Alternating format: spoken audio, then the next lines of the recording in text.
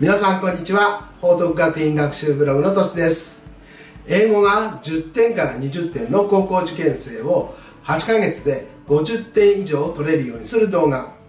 今回は一般動詞過去の否定文と疑問文についてお話しします。まず否定文からです。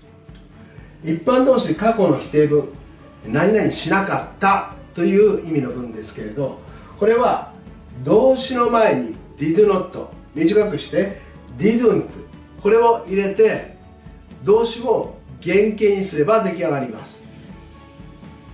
では例を使って、えー、説明しますね。括弧1 We used the room yesterday. We used the room yesterday. 私たちは昨日その部屋を使いました。ね。こういう意味の文章ですけどこれを使いませんでしたという意味にするにはえー、動詞これ used ですねこの前に did not 短くして didn't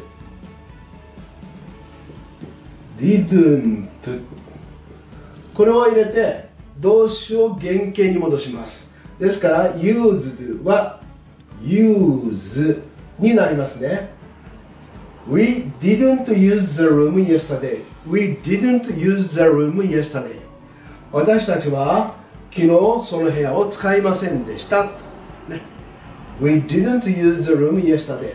これで否定文が出来上がりです。括弧2番 I saw her in the park. I saw her in the park.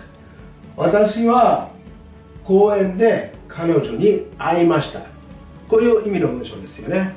これを会いませんでしたという否定の意味にするには、えー動詞の so ですねこの前に didn't を入れて I didn't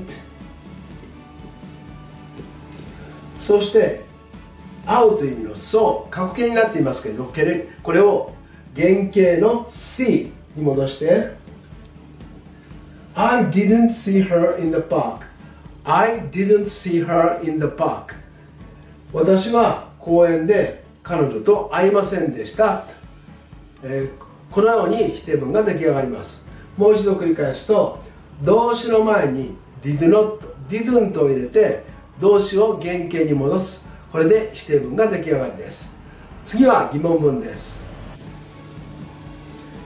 一般動詞過去の疑問文何々しましたか？という質問の文章ですね。これは文を did で始めて動詞を原型にする。これで出来上がります。では例を使って説明します。括弧1番。You watched TV last night. You watched TV last night.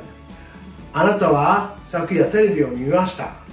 こういう意味の文章ですよね。これを質問の見ましたか？という文章にしたければ。Did これを一番前に持ってきて。Did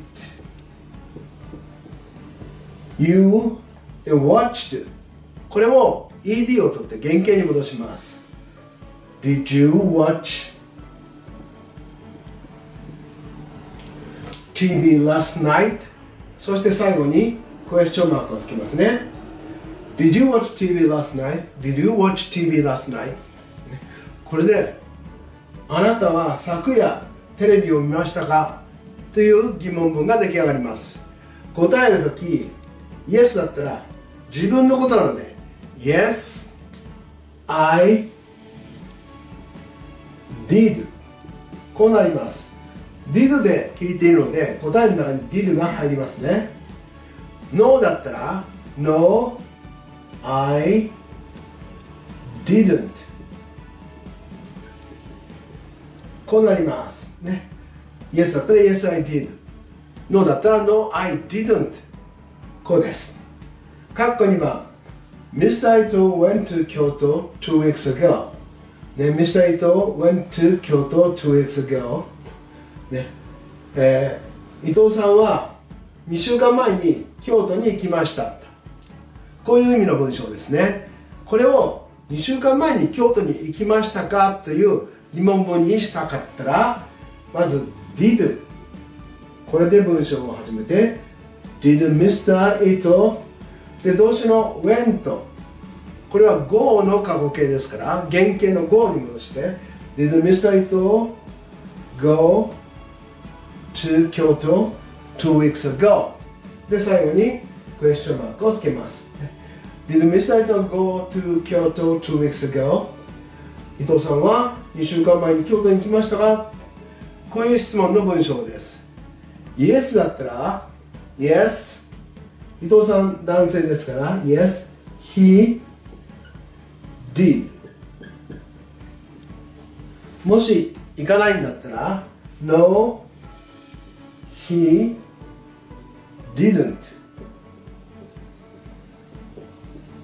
このような答えになります。今回は一般動詞過去の否定文と疑問文についてお話ししました。今日も最後まで見ていただきどうもありがとうございました。ではまたお会いしましょう。さようなら。